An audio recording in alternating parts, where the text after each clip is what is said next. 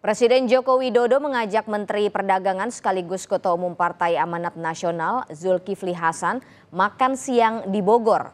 Pertemuan ini dilakukan setelah Jokowi bertemu dengan Prabowo Subianto dan Erlangga sehari sebelumnya.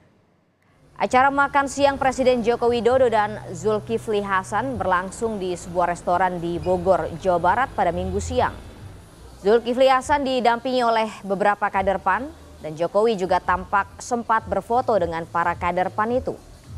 Pada kesempatan tersebut Jokowi juga menanggapi mengenai debat Pilpres 2024 yang akan diselenggarakan di Istora Senayan, Jakarta Pusat.